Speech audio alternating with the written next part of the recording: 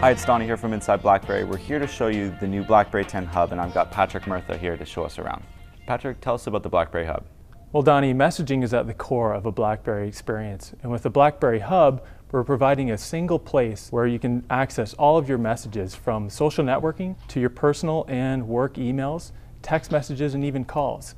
It's always just a single gesture away, so it's fully accessible all through BlackBerry 10. What are we bringing to the table with the Hub that makes it stand out? Well, with BlackBerry Hub, the approach we took was to provide a fully controlled experience that was always accessible.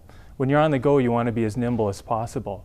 So with a quick glance, you can check out what's coming in your messages and take action immediately or wait until a more convenient time. On top of that, you can sort with one finger to look at a single uh, type of message or the whole inbox at one point. You can also, with a quick glance, pull down the inbox and check out what's happening next in your day for a full agenda view. How does this make the experience better for BlackBerry fans? Well, BlackBerry fans are messaging experts, and we knew with BlackBerry 10 we had to take it to a whole new level to address their needs, and we, we, we're certainly hitting the mark with this.